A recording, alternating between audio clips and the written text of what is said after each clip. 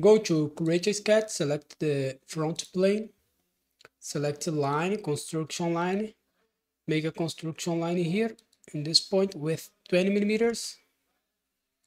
Okay. Select the line again, but now remove the construction line type. Make a line here with 60 millimeters of distance. Okay, here make this this cat here. Now we go to sketch dimension. The distance here is 20 millimeters okay. The angle between these two lines here is 45 degrees okay.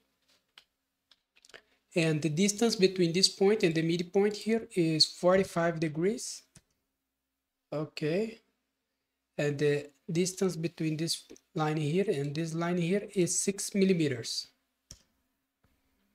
Okay we have this okay.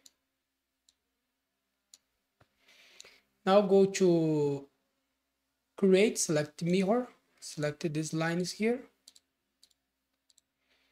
Click in mirror line the mirror line is this construction line here and press ok we have this finish the sketch go to extrude, select this profile here, extrude this 80 millimeters of distance, operation new body, and press OK. Now go to create sketch and select the this face here. Okay. Select line, construction line. Click here in the midpoint, make a line here with 110 millimeters. Okay we have this. Select the line again but now remove the construction line type. Make this sketch here. Okay go to dimension the distance here the distance between this sorry this line and this line here is 36 millimeters. Okay. Go to fillet make a fillet here with 15 millimeters of radius. Okay. We have this. Now use mirror select this line here. The mirror line is this construction line. Press ok. Select two point rectangle.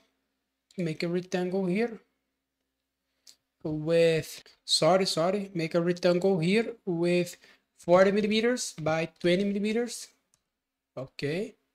Go to sketch measure. the distance between this line here and this line is 20 millimeters. And the distance between this line here and this line here is 10 millimeters. Okay now finish the sketch. Select this profile here, go to extrude, make an extrude this to this side with 30 millimeters. Operation join, press OK. We have this, okay. Now go to create a sketch, select this face here.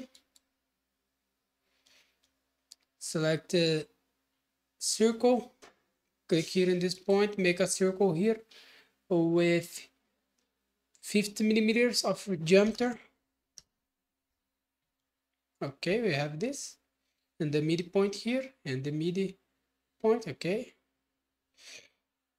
Finish the sketch. Go to extrude, select this profile here, extrude this 50 millimeters. Operation join and press OK.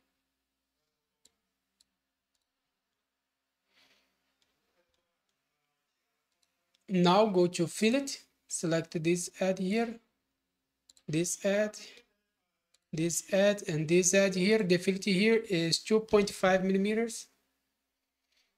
And press ok. Here we finish our exercise so thanks for watching. Subscribe my channel for more. Bye bye